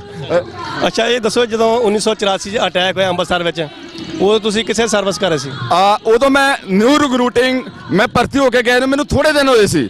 ਜਦੋਂ ਆਪਣੇ ਦਰਬਾਰ ਸਾਹਿਬ ਤੇ ਅਟੈਕ ਹੋਇਆ ਔਰ ਇੰਦਰਾ ਗਾਂਧੀ ਦੀ ਡੈਥ ਹੋ ਗਈ ਆ। ਤੇ ਉਸ ਵੇਲੇ ਸਾਨੂੰ ਰਾਤ ਨੂੰ ਸਾਡੇ ਟ੍ਰੇਨਿੰਗ ਸੈਂਟਰ 'ਚ ਮੈਸੇਜ ਮਿਲਿਆ ਸੀ ਕਿ ਜਿਹੜੇ ਸਿੱਖ ਪਰਸਨ ਨੇ ਕਿਉਂਕਿ ਉਦੋਂ ਸਿੱਖਾਂ ਨੂੰ ਜਿੱਥੇ ਜਿੱਥੇ ਲੱਭ ਕੇ ਮੁਕਾਇਆ ਜਾ ਰਿਹਾ ਸੀ ਕਿਉਂਕਿ ਉਹ ਟਾਈਮ ਇਦਾਂ ਦਾ ਸੀ। ਔਰ ਉੱਥੇ ਸਾਨੂੰ ਮੈਸੇਜ ਮਿਲੇ ਹੁਕਮ ਮਿਲੇ ਕਿ ਜਿਹੜੇ ਸਿੱਖ ਪਰਸਨ ਬਾਹਰ ਦੀਆਂ ਡਿਊਟੀਆਂ ਤੇ ਨੇ ਆਊਟ ਗਾਰਡ ਤੇ ਨੇ, ਉਹਨਾਂ ਨੂੰ ਵਾਪਸ ਇੰਟਰਨਲ ਕੀਤਾ ਜਾਵੇ ਔਰ ਉਹਨਾਂ ਨੂੰ ਧਿਆਨ ਰੱਖਿਆ ਜਾਵੇ। ਜਿੱਦਾਂ ਹੀ ਸਾਨੂੰ ਮੈਸੇਜ ਮਿਲਿਆ ਵੀ ਤੁਸੀਂ ਬਾਹਰ ਨਹੀਂ ਨਿਕਲਣਾ ਕਿ ਕਿਉਂਕਿ ਆਰਮੀ ਬਹੁਤ ਇਹਨਾਂ ਚੀਜ਼ਾਂ ਦੇ ਉੱਤੇ ਸਟਿਕਡ ਹੈ। ਆਰਮੀ ਸਾਰੇ ਧਰਮਾਂ ਤੋਂ ਸਾਰੇ ਧਰਮਾਂ ਦਾ ਸਨਮਾਨ ਕਰਦੀ ਹੈ। ਹਰ ਕੌਮ ਦਾ ਸਨਮਾਨਤ ਕਰਦੀ ਹੈ ਆਰਮੀ। ਇੱਕ ਆਰਮੀ ਹੈ ਉਹਦੇ ਵਿੱਚ ਕੋਈ ਧਰਮ ਦੇ ਭੇਦਭਾਵ ਨਹੀਂ ਰੱਖਿਆ ਜਾਂਦਾ। ਉਹਨਾਂ ਨੇ ਸਾਨੂੰ ਬੜੇ ਤਰੀਕੇ ਦੇ ਨਾਲ ਇੰਟਰਨਲ ਡਿਊਟੀਆਂ ਦੇ ਉੱਤੇ ਲਾ ਦਿੱਤਾ ਔਰ ਅਸੀਂ ਇੰਟਰਨਲ ਡਿਊਟੀਆਂ ਅੰਦਰ ਕਰਦੇ ਰਹੇ। ਜਦੋਂ ਮਾਹੌਲ ਸ਼ਾਂਤ ਹੋਇਆ ਬਾਅਦ ਚ ਅਸੀਂ ਫਿਰ ਸਾਡੀ ਟ੍ਰੇਨਿੰਗ ਸ਼ੁਰੂ ਹੋਈ। ਇਸ ਤਰ੍ਹਾਂ ਦਾ ਸੀ। ਅੱਛਾ ਮੈਨੂੰ ਦੱਸੋ ਕਿ ਜਦੋਂ ਅਟੈਕ ਹੋ ਰਿਹਾ ਸੀਗਾ ਦੇਖੋ ਟੈਂਕਾਂ, ਤੋਪਾਂ ਨਾਲ ਜਿਹੜਾ ਵਾ ਉੱਥੇ ਢਹਿ ਢੇਰੀ ਕੀਤਾ ਜਾ ਰਿਹਾ ਸੀ। ਸ੍ਰੀ ਅਕਾਲ ਤਖਤ ਸਾਹਿਬ, ਹਰਿਮੰਦਰ ਸਾਹਿਬ। ਹਜ਼ਾਰਾਂ ਜਿਹੜੇ ਆ ਨੌਜਵਾਨ ਬੱਚੇ, ਬੀਬੀਆਂ ਨੂੰ ਸ਼ਹੀਦ ਕੀਤਾ ਜਾ ਰਿਹਾ ਸੀਗਾ। ਉਹਨਾਂ ਨੂੰ ਜਿਹੜਾ ਪਾਣੀ ਵੀ ਨਹੀਂ ਦਿੱਤਾ ਜਾ ਰਿਹਾ ਹੈਗਾ ਤੇ ਜਦੋਂ ਉੱਥੇ ਅਟੈਕ ਹੋ ਰਿਹਾ ਸੀ, ਤੁਹਾਨੂੰ ਕਿੱਦਾਂ ਉਹ ਲੱਗਾ ਸੀਗਾ ਉਸ ਵਕਤ 1984 ਦਾ ਜਦ ਦਾਕਾ ਸੀਗਾ? ਜਦੋਂ ਸਾਨੂੰ ਅਸੀਂ ਖਬਰਾਂ ਸੁਣਦੇ ਸੀ ਜਾਂ ਜਦੋਂ ਸਾਨੂੰ ਉਸਤਾਦ ਸਾਡੇ ਦੱਸਦੇ ਸੀ ਕਿ 골ਡਨ ਟੈਂਪਲ ਤੇ ਜਿਹੜਾ ਅਟੈਕ ਹੋ ਰਿਹਾ ਹੈ, ਅਸੀਂ ਬੜਾ ਫੀਲਿੰਗ ਕਰਦੇ ਸੀ। ਅਸੀਂ ਸਾਨੂੰ ਬੜਾ ਤਾਜ਼ਬ ਲੱਗਦਾ ਸੀ ਕਿ ਹਰਮੰਦਰ ਸਾਹਿਬ ਸਾਰਿਆਂ ਦਾ ਸਾਂਝਾ ਸੀ, ਇਹਦੇ ਉੱਤੇ ਅਟੈਕ ਕਿਉਂ ਕੀਤਾ ਗਿਆ? ਕੀ ਕਾਰਨ ਸੀ ਕਿ ਕਿਉਂ ਇਹ ਕੰਮ ਕਿਉਂ ਹੋਇਆ ਬੜਾ ਬੜਾ ਅਫਸੋਸ ਲੱਗਦਾ ਸੀ। ਫਿਰ ਸਾਨੂੰ ਜਦੋਂ ਅਸੀਂ ਮਰਾਲ ਡਾਊਨ ਹੋ ਜਾਂਦੇ ਸੀ ਡੀਮਰਾਲ ਹੋ ਜਾਂਦੇ ਸੀ ਕਿ ਸਾਡੀ ਕੌਮ ਨੂੰ ਦਬਾਇਆ ਜਾ ਰਿਹਾ ਹੈ, ਫਿਰ ਸਾਨੂੰ ਸਾਡੇ ਜਿਹੜੇ ਉਸਤਾਦ ਸੀ, ਉਹ ਮੋਟੀਵੇਸ਼ਨ ਕਰਦੇ ਸੀ ਨਹੀਂ ਬੇਟੇ ਆਰਮੀ ਇਹ ਕੰਮ ਨਹੀਂ ਕਰਦੀ, ਆਪਾਂ ਮਰਾਲ ਡਾਊਨ ਨਹੀਂ ਕਰਨਾ। ਇਹ ਜਿਹੜਾ ਹਰਮੰਦਰ ਸਾਹਿਬ ਹੈ, ਇਹ ਹਮੇਸ਼ਾ ਵਾਸਤੇ ਹਮੇਸ਼ਾ ਵਾਸਤੇ ਜਿੰਦਾਬਾਦ ਰਹੇਗਾ, ਚੜ੍ਹਦੀ ਕਲਾ 'ਚ ਰਹੇਗਾ। ਅੱਜ ਇਹਦੇ ਤੇ ਕੋਈ ਸੰਕਟ ਆ ਰਿਹਾ ਹੈ, ਇਹ ਸੰਕਟ ਦੂਰ ਹੋ ਜਾਏਗਾ। ਤੁਸੀਂ ਡੋਲਣਾ ਨਹੀਂ ਹੈ। ਉਹ ਬਾਅਦ ਵਿੱਚ ਜਿਨ੍ਹਾਂ ਪਾਪੀਆਂ ਨੇ ਜਿਨ੍ਹਾਂ ਨੇ ਕੋਈ ਪਾਪ ਕਮਾਏ ਨੇ ਬੇਟਾ ਸਾਡੇ ਉਸਤਾਦ ਸਾਨੂੰ ਦੱਸਦੇ ਬੇਟਾ ਤੁਸੀਂ ਧਿਆਨ ਰੱਖਿਓ ਇਹਨਾਂ ਦਾ ਬਹੁਤ ਬੁਰਾ ਹਾਲ ਹੋਏਗਾ। ਕਿਉਂਕਿ ਗੁਰੂ ਮਹਾਰਾਜ ਦੇ ਉੱਤੇ ਅਟੈਕ ਕਰਨਾ ਕੋਈ ਚੰਗੀ ਗੱਲ ਨਹੀਂ ਹੈ। ਲੇਕਿਨ ਤੁਸੀਂ ਆਪਣੇ ਦਿਲ ਨੂੰ ਨਹੀਂ ਲਾਉਣਾ ਬੇਟੇ ਤੁਸੀਂ ਤਕੜੇ ਹੋ ਕੇ ਟ੍ਰੇਨਿੰਗ ਕਰਨੀ ਆ। ਅੱਛਾ ਜੀ ਉਹ ਉਹ ਸਰਦਾਰ ਸੀਗੇ ਕਿ ਕੌਣ ਸੀਗੇ? ਕਿਹੜੀ ਕੌਮ ਦੇ ਸੀਗੇ? ਸਾਡੀ ਮਿਕਸ ਰੈਜੀਮੈਂਟ ਹੈ ਸਾਡਾ ਸਾਰਾ ਮਿਕਸ ਹੈ ਸਾਰੀਆਂ ਕੌਮਾਂ ਸਾਡੇ ਨਾਲ ਸੀ। ਹਿੰਦੂ ਵੀ ਨੇ ਮੁਸਲਮਾਨ ਵੀ ਨੇ ਔਰ ਹਰਿਆਣੇ ਦੇ ਜਾਟ ਯੂਪੀ ਦੇ ਵੀ ਸਾਰੇ ਸਾਰੇ ਸਾਡੇ ਸਾਰੇ ਕੁਝ ਹੁੰਦੇ ਨੇ, ਲੇਕਿਨ ਸੋਚ ਬੜੀ ਉੱਚੀ ਹੁੰਦੀ ਆ। ਉਹ ਉਸਤਾਦ ਜਿਹੜੇ ਨੇ ਨਾ, ਉਹ ਉਹਨਾਂ ਦੇ ਵਿੱਚ ਕਦੀ ਅਸੀਂ ਫ਼ਰਕ ਨਹੀਂ ਰੱਖ ਸਕਦੇ ਵੀ ਇਹ ਸਰਦਾਰ ਹੈ ਜਾਂ ਚੰਗਾ ਗਾਈਡ ਕਰਦੇ ਸੀ, ਸਾਰੀਆਂ ਕੌਮਾਂ ਦੇ ਵਿੱਚ ਅਸੀਂ ਨੌਕਰੀ ਕੀਤੀ ਹੈ। ਠੀਕ ਹੈ ਬਹੁਤ ਬਹੁਤ ਧੰਨਵਾਦ ਜੀ। ਇਹ ਸਨ ਬਾਬਾ ਸ਼ਿੰਗਾਰਾ ਸਿੰਘ ਜੀ ਦਾ ਪਰਿਵਾਰਕ ਮੈਂਬਰ ਜਿਹੜਾ ਆਪਾਂ ਦੇਖ ਰਹੇ ਹਾਂ, ਦਰਸ਼ਨ ਕਰ ਰਹੇ ਹਾਂ, ਇਸ ਬੱਚੀ ਨੇ ਜਿਹੜੀ ਕਿਤਾਬ ਲਿਖੀ ਆ। ਤੇ ਇਹਨਾਂ ਦੇ ਪਿਤਾ ਜੀ ਨੇ ਬੜਾ ਯੋਗਦਾਨ ਪਾਇਆ, ਇਸ ਬੱਚੀ ਨੂੰ ਸਮਝਾਇਆ ਕਿ ਆਪਾਂ ਇਹ ਸਾਡੇ ਜਿਹੜੇ ਆ ਬਜ਼ੁਰਗ ਆ ਇਹਨਾਂ ਨੇ ਸਰਵਿਸ ਕੀਤੀ ਆ ਸਰਕਾਰੀ ਤੇ ਇਹਨਾਂ ਨੇ ਭਗਤੀ ਵੀ ਕੀਤੀ ਆ। ਇਸ ਬੱਚੀ ਦਾ, ਇਸ ਪੂਰੇ ਪਰਿਵਾਰ ਦਾ ਬਹੁਤ ਬਹੁਤ ਧੰਨਵਾਦ ਜਿਨ੍ਹਾਂ ਨੇ ਆਪਣੇ ਪਿੰਡ ਸ਼ੰਗਰਕੋਟ ਦਾ, ਜਿਹੜਾ ਧਰੂਤਾਰਾ ਬਾਬਾ ਸ਼ਿੰਗਾਰਾ ਸਿੰਘ ਜੀ ਜਿਹੜੇ ਪੁਸਤਕ ਲਿਖੀ ਆ ਤੇ ਅੱਜ ਜਿਹੜੀ ਆ ਇਹ ਪੁਸਤਕ ਜਿਹੜੀ ਆ ਅੱਜ ਰਿਲੀਜ਼ ਹੋਣੀ ਹੈ ਇਸ ਪਿੰਡ ਸੰਗਰਕੋਟ ਵਿੱਚ ਦੀਵਾਨ ਦੇ ਵਿੱਚ ਤੇ ਸਾਰੇ ਪਰਿਵਾਰਕ ਮੈਂਬਰਾਂ ਦਾ ਬਹੁਤ ਬਹੁਤ ਧੰਨਵਾਦ ਜੀ। ਤੇ ਇਸ ਬੱਚੀ ਦੇ ਨਾਲ ਜਿਹੜੀ ਅਸੀਂ ਦੁਬਾਰਾ ਜਿਹੜੀ ਆ ਗੱਲ ਫੇਰ ਸ਼ੁਰੂ ਕਰਨ ਜਾ ਰਹੇ ਹਾਂ ਕਿਉਂਕਿ ਬੱਚੀ ਥੋੜਾ ਜਿਹਾ ਘਬਰਾ ਗਈ ਸੀਗੀ। ਤੇ ਇਸ ਬੱਚੀ ਦੇ ਜਿਹੜਾ ਕਿਤਾਬ ਲਿਖੀ ਆ ਉਹਦੇ ਬਾਰੇ ਅਸੀਂ ਫੇਰ ਕਹਿੰਦੇ ਕਿ ਜਿਹੜੀ ਕਿਤਾਬ ਲਿਖੀ ਆ ਤੇ ਹੋਰ ਵੀ ਤੇਰੇ ਮਨ 'ਚ ਹੈਗਾ ਕੋਈ ਕਿਤਾਬ ਲਿਖਣ ਬਾਰੇ ਕੋਈ? ਹਾਂਜੀ ਹੁਣ ਅਸੀਂ ਚਾਹੁੰਦੇ ਹਾਂ ਕਿ ਅਸੀਂ ਆਪਣੇ ਗ੍ਰੈਂਡਫਾਦਰ ਦੇ ਉੱਪਰ ਇੱਕ ਬੁੱਕ ਲਿਖੀਏ ਔਰ ਇਸ ਪਿੰਡ ਦੇ ਕਲਚਰ ਉੱਪਰ ਇੱਕ ਬੁੱਕ ਲਿਖੀਏ। ਠੀਕ ਹੈ ਤੇ ਤੂੰ ਜਿਹੜੇ ਸਾਡੀਆਂ ਧੀਆਂ ਧਿਆਣੀਆਂ ਵਾ, ਦੇਖੋ ਜਿਹੜੇ ਹੁਣ ਜਿਹਦਾ ਵਿਆਹ ਸ਼ਾਦੀਆਂ ਹੁੰਦੀਆਂ ਵਾ, ਤੇ ਜਿਹੜਾ ਦੇਖੋ ਬੱਚੀ ਦਾ ਵੀ ਹੱਕ ਉਹਨਾਂ ਦਾ ਜਿੰਨਾ ਮੁੰਡੇ ਦਾ ਹੁੰਦਾ ਘਰ ਵਿੱਚ, ਹਾਂਜੀ? ਤੇ ਜਿਹੜੇ ਨੌਜਵਾਨ ਆ, ਉਹ ਦਾਜ ਜਿਹੜੇ ਮੂੰਹ ਮੰਗਦੇ ਆ। ਪਰ ਅਸੀਂ ਜਿਹੜਾ ਸਾਡਾ ਇਲਾਕਾ ਵਾ, ਜਦੋਂ ਕੋਈ ਨੌਜਵਾਨ ਦਾਜ ਮੰਗਦਾ, ਤਾਂ ਅਸੀਂ ਉਹਦੀ ਬਹੁਤ ਜ਼ਿਆਦਾ ਬੇਇੱਜ਼ਤੀ ਕਰਦੇ ਆ ਤੇ ਉਹਦੀ ਜਿਹੜੀ ਆ ਮਿੱਟੀ ਪਲੀਤ ਕੀਤੀ ਜਾਂਦੀ, ਕਿਉਂਕਿ ਦਾਜ ਜਿਹੜਾ ਮੰਗਣਾ ਬਹੁਤ ਮਾੜੀ ਗੱਲ ਆ। ਜਿਹੜਾ ਘਰ 'ਚ ਆਪਾਂ ਨੂੰ ਪ੍ਰਮਾਤਮਾ ਦਿੰਦਾ ਆਪਾਂ ਨੌਕਰੀ ਸਰਵਿਸ ਕਰਦੇ ਆ ਉਹ ਜਿਹੜਾ ਆਪਾਂ ਨੂੰ ਵਧੀਆ ਲੱਗਦਾ। ਪਰ ਜਿਹੜੀਆਂ ਦੇਖੋ ਬੱਚੀਆਂ ਵਾ ਜਿਹੜੇ ਦਾਜ ਲੋਕੀ ਲੈਂਦੇ ਆ ਉਹਨਾਂ ਬਾਰੇ ਕੀ ਕਹਿਣਾ ਚਾਹੁੰਦੇ ਆ? ਕਿ ਮੈਂ ਇਹੀ ਕਹਿਣਾ ਚਾਹਾਂਗੀ ਕਿ ਜਿਹੜਾ ਦਾਜ ਹੈ ਉਹ ਨਾ ਤਾਂ ਲੈਣਾ ਚਾਹੀਦਾ ਨਾ ਦੇਣਾ ਚਾਹੀਦਾ। ਇਹ ਜਿਹੜੀ ਸ਼ੁਰੂਆਤ ਹੈ ਪਹਿਲਾਂ ਘਰ ਤੋਂ ਹੀ ਹੋਏਗੀ ਤਾਂ ਹੀ ਇਹ ਜਿਹੜਾ ਹੈ ਇਹ ਪ੍ਰੋਬਲਮ ਜਿਹੜੀ ਸੋਲਵ ਹੋ ਸਕਦੀ ਹੈ। ਤੇ ਜਿਹੜੀਆਂ ਧੀਆਂ ਧਿਆਣੀਆਂ ਹੁੰਦੀਆਂ ਉਹਨਾਂ ਬਾਰੇ ਕੋਈ ਲਫ਼ਜ਼ ਜਿਹੜੇ ਆ ਕੋਈ ਗੱਲ ਕਰਨੀ ਚਾਹਵੇਂ ਤਾਂ ਦੱਸ। ਮੈਂ ਸਭ ਨੂੰ ਇਹੀ ਕਹਿਣਾ ਚਾਹਾਂ ਚਾਹਾਂਗੀ ਕਿ ਸਭ ਨੂੰ ਜਿਹੜਾ ਹੈ ਕਿ ਆਪਣੇ ਪੇਰੈਂਟਸ ਦਾ ਜਿੰਨਾ ਵੀ ਹੋ ਸਕੇ ਰਿਸਪੈਕਟ ਕਰਨੀ ਚਾਹੀਦੀ, ਉਹਨਾਂ ਦਾ ਨਾਮ ਜਿਹੜਾ ਬਣਾਉਣਾ ਚਾਹੀਦਾ ਦੁਨੀਆ ਦੇ ਉੱਪਰ ਔਰ ਉਹਨਾਂ ਨੂੰ ਪੜ੍ਹਾਈ ਕਰਨੀ ਚਾਹੀਦੀ ਹੈ ਆਪਣੇ ਸੱਭਿਆਚਾਰ ਵਿੱਚ ਰਹਿਣਾ ਚਾਹੀਦਾ। ਹਾਂਜੀ ਆਪਣੇ ਕਲਚਰ ਵਿੱਚ ਰਹਿ ਕੇ ਉਹਨਾਂ ਨੂੰ ਇਹ ਵੀ ਗੱਲ ਦੱਸ ਕੇ ਜਿੱਦਾਂ ਦੇਖੋ ਦੇਖੋ ਮਾਂ ਪੇ ਜਦੋਂ ਬੱਚੀ ਪੈਦਾ ਹੁੰਦੀ ਜਾਂ ਬੱਚਾ ਪੈਦਾ ਹੁੰਦਾ ਵਾ ਉਹਦੇ ਮਨ 'ਚ ਬੜੀ ਤਾਕ ਹੁੰਦੀ ਆ ਕਿ ਅਸੀਂ ਬੱਚੀ ਨੂੰ ਪੜਾਵਾਂਗੇ ਹਾਂਜੀ ਜਿੱਦਾਂ ਤੁਹਾਨੂੰ ਪੜਾਇਆ ਗਿਆ। ਤੇ ਬਹੁਤ ਜ਼ਿਆਦਾ ਬੱਚੇ ਜਿਹੜੇ ਆਪਣੇ ਮਾਂ ਪਿਓ ਨੂੰ ਛੱਡ ਕੇ ਆਪਣੀ ਮਰਨ ਮਰਜ਼ੀ ਦੇ ਨਾਲ ਜਿਹੜਾ ਵਿਆਹ ਕਰਦੇ ਆ ਉਹਦੇ ਬਾਰੇ ਕੀ ਕਹਿਣਾ ਚਾਹੁੰਦੇ ਕਿ ਇਹ ਬੱਚਿਆਂ ਨੂੰ ਇਸ ਤਰ੍ਹਾਂ ਨਹੀਂ ਕਰਨਾ ਚਾਹੀਦਾ ਕਿਉਂਕਿ ਉਹਨਾਂ ਦੇ ਮਾਪੇ ਜਿਹੜੇ ਉਹਨਾਂ ਬਾਰੇ ਬਹੁਤ ਕੁਝ ਸੋਚਦੇ ਨੇ। ਉਹਨਾਂ ਨੇ ਬਹੁਤ ਸੁਪਨੇ ਦੇਖੇ ਹੁੰਦੇ ਨੇ ਆਪਣੇ ਜਿਹੜੇ ਰਿਸ਼ਤੇਦਾਰ ਜਾਂ ਮਾਂ ਪਿਓ ਨੂੰ ਬੜੀ ਸੱਟ ਵੱਜਦੀ ਆ। ਹਾਂਜੀ ਉਹਨਾਂ ਦੇ ਦਿਲ ਨੂੰ ਬਹੁਤ ਜ਼ਿਆਦਾ ਠੇਸ ਪਹੁੰਚਦੀ ਹੈ ਇਸ ਲਈ ਮੈਂ ਇਹੀ ਕਹਿਣਾ ਚਾਹ- ਚਾਹਾਂਗੀ ਕੁੜੀਆਂ ਨੂੰ ਕਿ ਉਹਨਾਂ ਨੂੰ ਇਸ ਤਰ੍ਹਾਂ ਨਹੀਂ ਕਰਨਾ ਚਾਹੀਦਾ। ਜਿਵੇਂ ਜਿਵੇਂ ਉਹਨਾਂ ਦੀ ਪੇਰੈਂਟਸ ਦੀ ਮਰਜ਼ੀ ਹੈ ਉਹਨਾਂ ਨੂੰ ਉਹਨਾਂ ਦੇ ਅਕੋਰਡਿੰਗ ਚੱਲਣਾ ਚਾਹੀਦਾ ਹੈ। ਬਹੁਤ ਬਹੁਤ ਧੰਨਵਾਦ ਜੀ ਬਹੁਤ ਵਧੀਆ ਵਿਚਾਰ ਜਿਹੜੇ ਇਸ ਬੱਚੀ ਨੇ ਰੱਖੇ ਜੀ। ਹਾਂਜੀ ਇੱਕ ਮੈਂ ਸੰਦੇਸ਼ ਦੇਣਾ ਚਾਹੁੰਦਾ ਹਾਂ ਜੀ। ਜੋ ਕਿ ਮਾਤਾ ਖੀਵੀ ਜੀ ਦੇ ਗੁਰਦੁਆਰਾ ਸਾਹਿਬ ਵਿਖੇ ਜੋ ਵੀ ਆਨੰਦ ਕਾਰਜ ਹੁੰਦਾ ਹੈ ਉਹ ਬੇਟੀ ਦਾ ਉਹ ਪੈਲਸਾਂ ਵਿੱਚ ਜਾ ਕੇ ਨਾ ਕਰਨ ਉਹਨਾਂ ਨੂੰ ਅੱਗੇ ਵੀ ਬੇਨਤੀ ਕਰ ਚੁੱਕੇ ਹਾਂ ਪਿੰਡ ਦੇ ਵਸਨੀਕ ਹੋਣ ਕਾਰਨ ਕਿ ਤੁਸੀਂ ਆਪਣੀ ਬੇਟੀ ਦੇ ਆਨੰਦ ਕਾਰਜ ਜਿਹੜਾ ਮਾਤਾ ਖੀਵੀ ਜੀ ਦੇ ਦਰਬਾਰ ਵਿਖੇ ਹੋਣਾ ਚਾਹੀਦਾ ਹੈ ਜੀ। ਬਹੁਤ ਵਧੀਆ ਗੱਲ ਦੱਸੀ ਆ ਜੀ। ਜਿਹੜੇ ਆਪਾਂ ਵਿਆਹ ਕਰਦੇ, ਦੇਖੋ ਅੱਗੇ ਜਿਹੜਾ ਵਿਆਹ ਕਰਦੇ ਸੀ, ਆਪਾਂ ਘਰਾਂ 'ਚ ਕਰਦੇ ਸੀਗੇ, ਬੜੇ ਵਧੀਆ ਲੱਗਦੇ ਸੀਗੇ, ਬੜੀ ਰੌਣਕ ਹੁੰਦੀ ਸੀ। ਜਦੋਂ ਲਾਵਾਂ ਕਰਦੇ, ਸਾਰੇ ਸੰਗਤ ਜਿਹੜੀ ਉੱਥੇ ਹਾਜ਼ਰ ਹੁੰਦੀ ਸੀਗੀ। ਤੇ ਹੁਣ ਆਪਾਂ ਪੈਸੇ ਜਾਂਦੇ ਥੋੜੇ ਚੰਦ ਕੇ ਬੰਦੇ ਜਾਂਦੇ ਆ, ਕੁੜੀ ਮੁੰਡਾ ਜਾਂਦੇ ਤਾਂ ਮਾਂ ਪਿਓ ਦੇ ਜਾਂਦੇ ਆ, ਤਾਂ ਉਹ ਜਿਹੜਾ ਉੱਥੇ ਲਾਵਾਂ ਕਰਦੇ ਆ, ਉਹ ਬਹੁਤ ਭੈੜਾ ਲੱਗਦਾ। ਤੇ ਤੁਸੀਂ ਬਹੁਤ ਵਧੀਆ ਜਿਹੜੇ ਆਪਣੇ ਵਿਚਾਰ ਰੱਖੇ ਆ ਜੀ। ਤੁਹਾਡਾ ਬਹੁਤ ਬਹੁਤ ਧੰਨਵਾਦ ਜੀ। ਪੂਰੇ ਪਰਿਵਾਰ ਦਾ ਬਹੁਤ ਬਹੁਤ ਧੰਨਵਾਦ ਜੀ। ਤੇ ਫਤਿਹ ਬੁਲਾਉਣਾ ਜੀ ਅਸੀਂ। ਵਾਹਿਗੁਰੂ ਜੀ ਕਾ ਖਾਲਸਾ, ਵਾਹਿਗੁਰੂ ਜੀ ਕੀ ਫਤਿਹ।